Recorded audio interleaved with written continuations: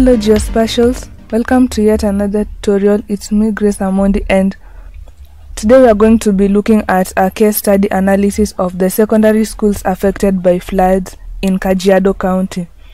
So quickly we have some few data sets and we'll be using ArcGIS tool. We'll be adding Kajiado County shapefile, uh, the Kenya Rivers shapefile and also the Kenya Secondary Schools CSV file. So uh, the CSV file will convert it into a shapefile and we'll convert the Kajiado School CSV to a shapefile. Then we'll perform clipping and we'll be clipping Kenyan rivers against Kajiado counties as well as Kenyan secondary schools against Kajiado County. Then we'll be defining our projection and we'll be defining the projection of the clipped Kajiado schools. This is because the CSV file does not yet contain um, projection and it needs some coordinate system. So after we have defined the projection, we'll project We'll project both of the Kajiado schools and Kajiado rivers from geographic to ARC 1960 zone 37 south and then we'll perform buffering and this will be for the rivers, the Kajiado rivers and we'll create a buffer of 1000 meters that is 500 meters away from the center of the river.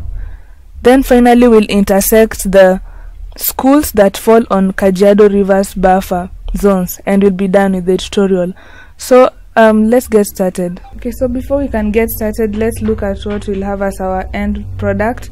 And this is our model. So it's just a flow that will bring together the geoprocessing tools that we'll be using in a sequence whereby the output tool uh, data of one is the input of another.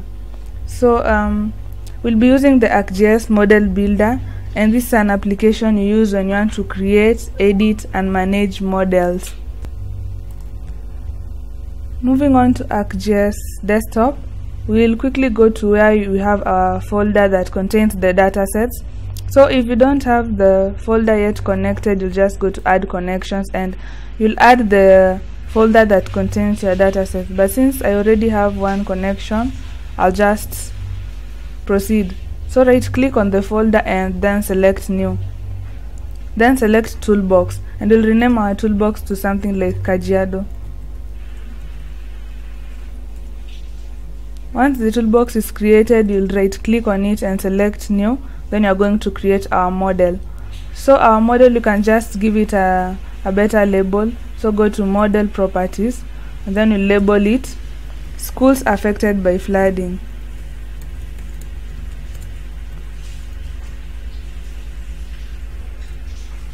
Then you click ok. So now let's get started.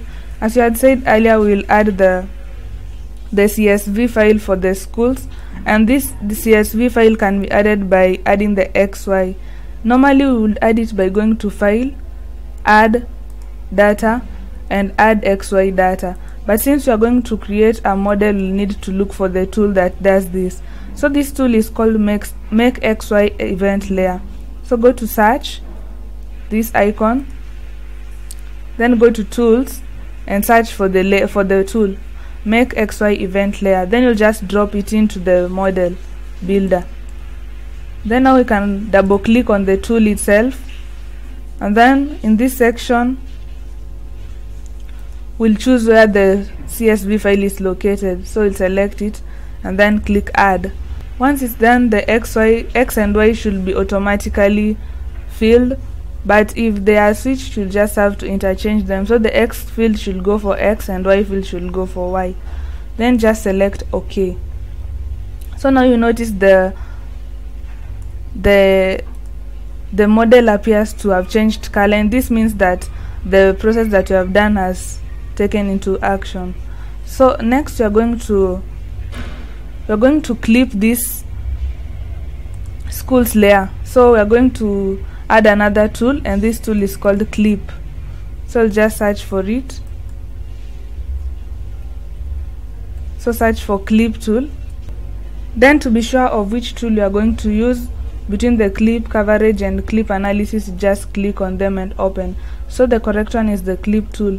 On a normal basis we'll just go to geoprocessing and select clip but now since we are going to create a model we'll need to add the tool that's called clip analysis. So let's just drag the clip analysis tool into the model builder and then double click on the clip tool. And our output should be this this layer. So the output the input should be the output of the previous tool. So just select that Kenya secondary schools layer. Then you're going to clip it against the Kajiado County as I had mentioned earlier. So I'll just select it, the Kajiado County shapefile from where we had stored it in the in our folder. So Kajiado County and then add. And then let's just select um, a location where we'll store this.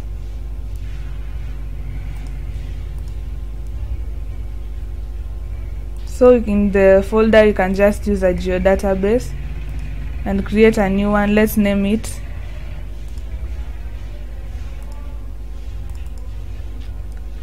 Create a new geodatabase and we'll name it Kajiado. And then we'll open it. And this will this is where we'll be saving everything that we create. So we'll just name the final output as clipped schools. Save then select OK. Now as you can notice the uh, there is a connection between the Kenya secondary schools and the clipped. So we can just select the auto layout to rearrange the items. So click on that to rearrange the items. Next thing we need to do after we have clipped the Kajiado schools is define a projection for them. So as you can see the the Kajiado school data that is there is has been changed from CSV to shapefile and it still does not yet have any projection. So we are going to first define the projection of the Kajiado schools shapefile that has been already clipped. So we'll be using the define projection tool. So select define projection. Just search for it in the search and you are going to use the data management define projection tool and drag it and drop it into the model builder. So the output of the clip schools which is called clip schools will be the input of the defined projection. So just select and you're going to select clip schools. And then the coordinate system is geographic select ok. So now we have clip schools 2 we can rename it to defined schools. Then select OK. Then after we have defined the projection we are going to project it. Now we are going to be projecting meaning we are going to convert it from the geographic to um, projected system of arc 1960 37 degrees 37 zone 37 south. So we are going to use the projection tool. Project so we are going to drop the project data management tool and then the the final output of the defined projection will be the input of the project tool. So we are going to select defined schools and then the output coordinate system. We had said we'll use ARC 1960 zone 37 south. Then click OK. And then we can change the location of where we're going to store it. We'll just name it as project Kajiado schools project save. Then you're going to click OK. So uh, we are just going to rearrange it. So finally we are done with the Kajiado schools but now we are left with the rivers so let's uh, add another clip tool which will clip the rivers against the Kajiado County. So search again for clip tool. And it's the clip analysis. And drop it into the model builder. Then the input will be the Kajiado rivers the Kenyan rivers so we are going to search for it. From the rivers add and then the output the clip features will be the Kajiado County. And the output you can just save it in a the Kajiado geodatabase. So we'll name it as Kenyan Kajiado Rivers then save and select OK so we can just rearrange it. Now that we have the Kajiado Rivers only we'll project it since it already has the projection of geographic we'll convert it into the W the UTM so just add the project tool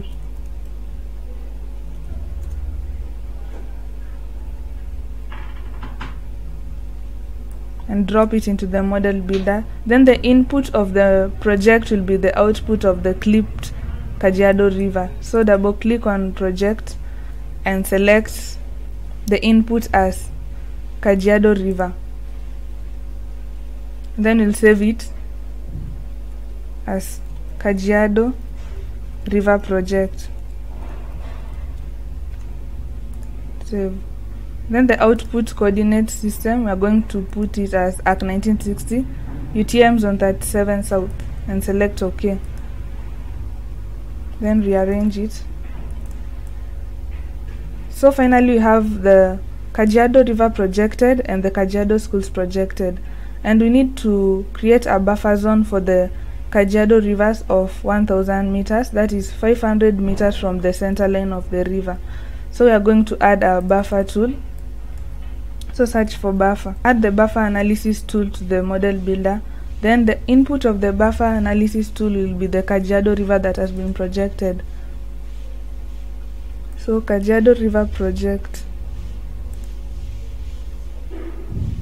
And then we'll just change the location and we'll name it as Kajiado River Buffer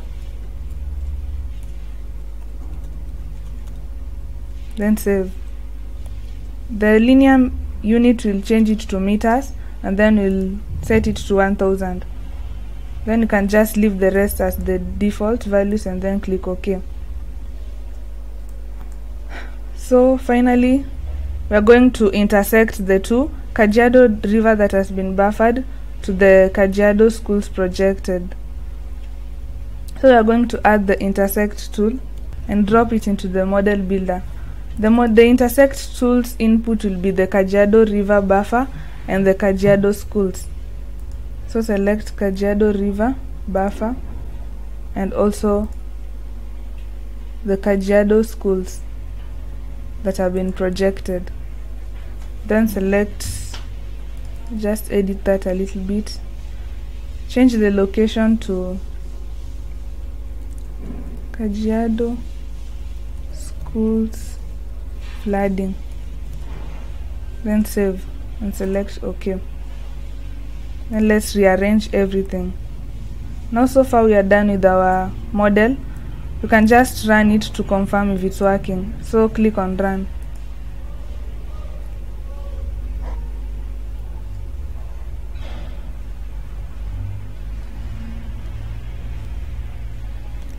And it should show the processes that are ongoing as it runs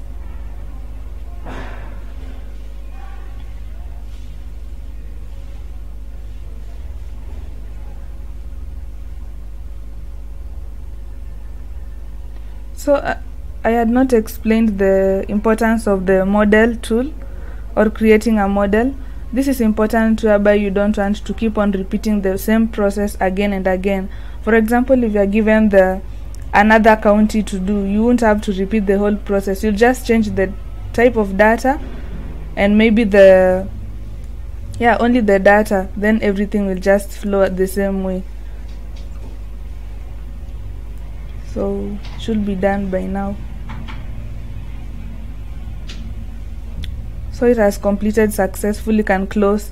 Then go to the end product which is Kajiado schools flooding. Right click on it and add to display then you should go back to the ArcMap map view and you'll notice that the schools that are affected by flooding have been added to the to the region. So uh, that's it for the model creating a model.